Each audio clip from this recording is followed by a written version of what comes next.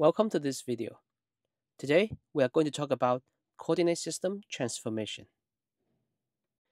I will introduce EPSG first, then how to transfer to an arbitrary or local coordinate systems using the 7 parameters or PRJ import. Coordinate system transformation is a process that allows us to describe geometrical figures or spatial data between different coordinate systems, which means you can transform an input coordinate system into an output one. EPSG refers to the organization that developed a widely recognized database of the spatial reference systems, datums, and coordinate transformations. Each known coordinate system under the EPSG has a unique code for identification. It's also a part of the EPSG geodetic parameter dataset. You can see more information in the epsg.io. Under 2D map or 3D model, Advanced, select Known Coordinate System. You can scroll down and find the horizontal and vertical database. An arbitrary coordinate system also known as a local coordinate system, is a system that the origin and the units of measurements are defined based on the local or project specific needs. This type of system is often used in construction sites or mining operations, where the area being surveyed is large and there isn't a known or standard coordinate system that can be used. While a known coordinate system is universally accepted and can be used to describe any point in space.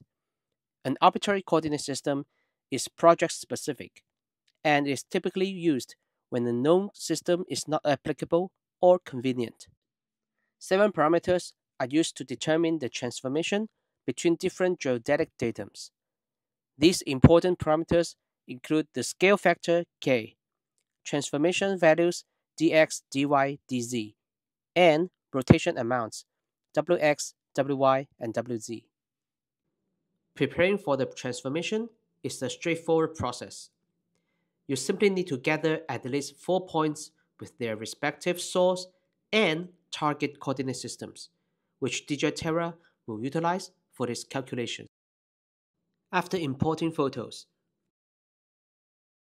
open 2D map or 3D model. Advanced.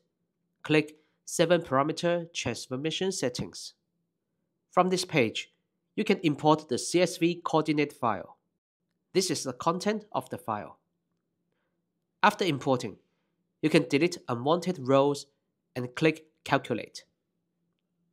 The 7 parameters will appear and click Apply.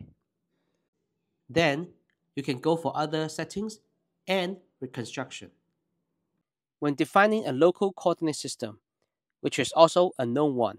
A PRJ file is a convenient and standardized way to define and share coordinate system information across different spatial datasets and GIS software. The PRJ file of the target coordinate system can be downloaded from the spatialreference.org. Go to the website, search for your target coordinate system, and download the PRJ file from the page. Back to DJI Terra. Select Known Coordinate Systems and click Import PRJ. Select the PRJ file and it's imported into DJI Terra.